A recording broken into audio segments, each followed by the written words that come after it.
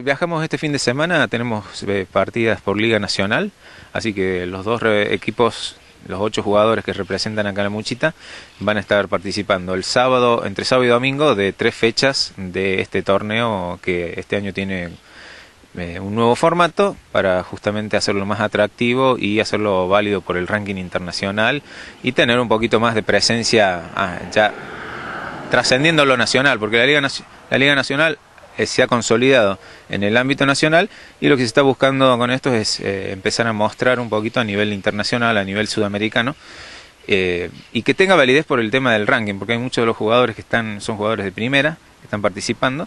y ellos tienen ciertas aspiraciones de conseguir alguna norma de maestro FI, de maestro internacional o gran maestro en algunos casos, entonces todo este tipo de competiciones les sirve al ser válida por el ranking, porque uno de, las, eh, de los requisitos para conseguir normas de maestro es tener determinada puntuación de ranking y después normas que, se, que son como puntajes que les van dando los diferentes torneos que van, que van desarrollando a lo largo de un año. Por ejemplo, para maestro y gran maestro necesitan nueve normas en torneos internacionales o panamericanos y más un requisito de un piso de 2.400 eh, puntos de ranking. Entonces, todos esos son requisitos para que FIDE les otorgue el, título de gran maestro. ¿no? ¿Quiénes son los participantes que viajan? Bueno, mira, tenemos, está Juan Guzumano de, de, Yacanto, está Héctor Moreno de Santa Rosa, está Luis Díaz, que es oriundo de acá de Canamuchita, pero que está radicado y hace todas sus cuestiones eh, laborales en Córdoba, pero él se identifica mucho con nosotros y viene participando ya desde hace dos años en lo que es la Liga Regional. Después está Martín Schwind, que es un elemento de la villa, un muchacho de la villa que se ha sumado el año pasado. Eh, también está participando Ezequiel Farías, que es de Villa del Dique, que es un chico juvenil que ya está rompiendo los juveniles porque ya, ya tiene 17 años, así que ya empezó el roce hace dos años con, los, con el segmento de mayores, jugadores mayores. Y de la villa tenemos a Sebastián, Sebastián, perdón, a Samuel Schul y, Juan Caturelli, que son dos productos genuinos de las escuelas municipal de ajedrez de la villa y que este año están participando de la nueva escuela Filidor, donde estamos eh, abriendo un segmento nuevo que es para aquellos jugadores avanzados hacer lo que es específicamente entrenamiento de cara a, las competiciones. Eh,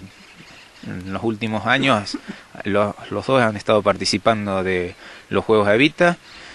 eh, y este año, a principios de este año, no sé si recuerdan, hemos hecho las primeras experiencias con tres de nuestros alumnos en campeonatos argentinos, eh, que es la primera vez que tenemos una, competencia de semejante nivel en donde estamos empezando a foguear a, los alumnos. Entonces, forma parte de todo este proceso de crecimiento a nivel personal y a nivel deportivo de, de nuestros alumnos y que bueno que nos ponen el desafío de, de buscarles nuevas alternativas para que ellos puedan continuar con su proceso de aprendizaje. ¿Qué expectativas tienen en esta participación? Mira, por los rivales que nos tocan, eh, nosotros estamos en un pelotón de, de, mitad de tabla, ¿sí? Eh, hace tres años que hemos empezado con este tipo de competencias y se siente esa diferencia de juego. Al hacerse la partida pensada, eh, se amplía un poco más la diferencia porque los jugadores fuertes de primera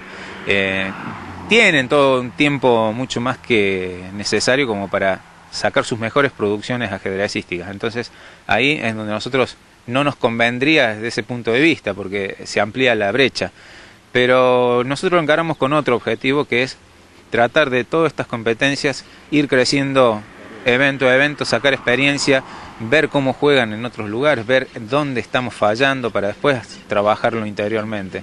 Son procesos largos, pero creo que es un, es una buena, es un, buena, un buen camino que estamos iniciando. ¿no? Eh, si realmente uno tiene el espíritu o las ganas de, superarse en su nivel ajedrecístico, en su nivel de juego, y tiene que medirse con los que más saben, que es donde más se aprende. Y bueno, para nosotros es, un, es una cuestión también de acompañar en este proceso de que nuestros jóvenes